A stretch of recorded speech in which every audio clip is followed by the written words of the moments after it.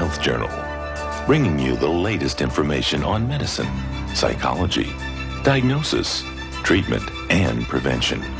Major medical advances are made each week, and each week the American Health Journal keeps you up to date. Hello, and welcome to this edition of the American Health Journal. I'm your host, Roger Cooper. Then, a fascinating report from the Salk Institute on their research into regenerative medicine. Everyone knows that lizards can regrow their tails if they're lost. Why can't we grow a lost arm?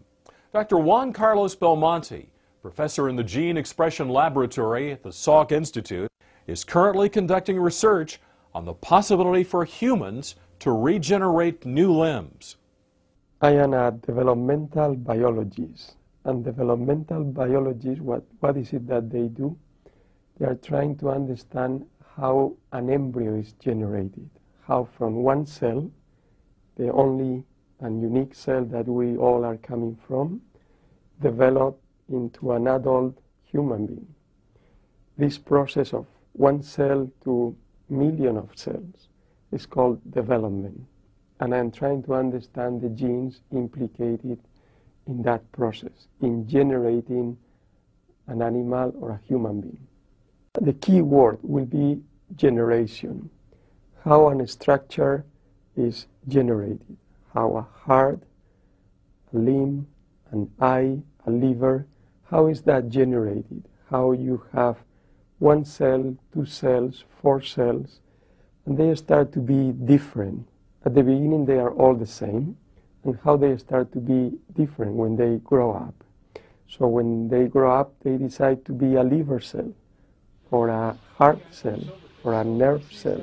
This is a very small fish that is transparent, and we can see the organs inside.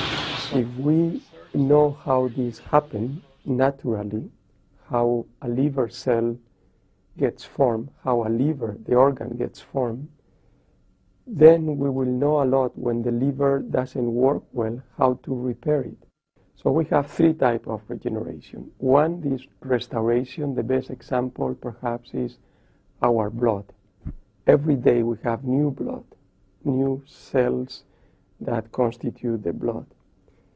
That's called rather restoration, not regeneration, restoration. There's this other type of regeneration, the liver regeneration, where you don't restore the form. You restore some cells, but not the original form. And there is the most amazing one, the one that you do everything. This one that you can find in salamanders, some fish, that you cut their limbs, you cut their heart, you cut their spinal cord, and they bring it back. And they bring it the right size, no longer, no shorter, the right way, no up, not upside down, just the right way there is regeneration in humans. Uh, babies, for the first few months of life, if something happened that the, their fingers get cut, they will regenerate their fingers. So regeneration is present in a human being in a very limited window, not through all their life, but is present. The fact that it's present tells you that perhaps we will be able to see that in an adult human being. So the answer is if the ability is there, then it could be yes. But we don't know how. For that, we need to use animal models. Models that there is no regeneration, like in humans, and try to awake that ability we have been able to show that an animal like a chick that does not regenerate, you cut the wing of a chick and it's like us, it will not regenerate. We can induce the limb to regenerate by manipulating their genetic content of that structure. So the ability to regenerate is there.